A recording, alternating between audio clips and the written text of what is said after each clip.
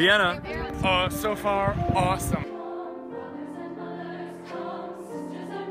I think it's great. I think it's awesome. I think it's amazing. I love the architecture. The architecture is really cool. The architecture is beautiful. Yeah, it's pretty. Really cool architecture. Just walking around and seeing all these buildings, phenomenal. There's artwork on every single building, side, facade. It's just, it's incredible. The architecture was just incredible, and I love the, hearing all the history of Vienna. It's just so amazing. I just love all the older buildings. Everything's so detailed, and the food is excellent. Some a lot of food.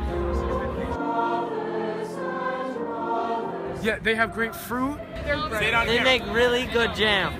They have really good apple juice, Uh, great veg. Their meat. meats are delicious. and their Yeah. kiwis are phenomenal.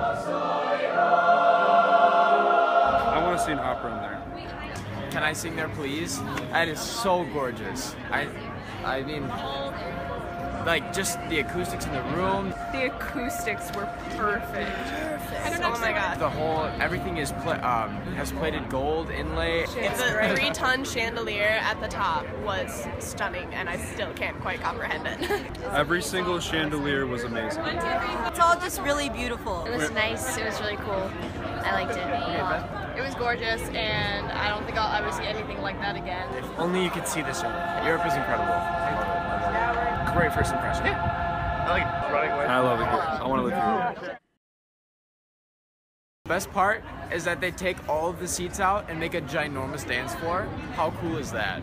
Like just go in there, like pump some dubstep. I'm just kidding. They don't do that. What a lovely visit we had to this beautiful opera building. It's so interesting to see the deep, rich, historical, like all the culture here and all the stuff about music. It's very beautiful. And I am personally honored that we had our chance to make a mark on that legacy.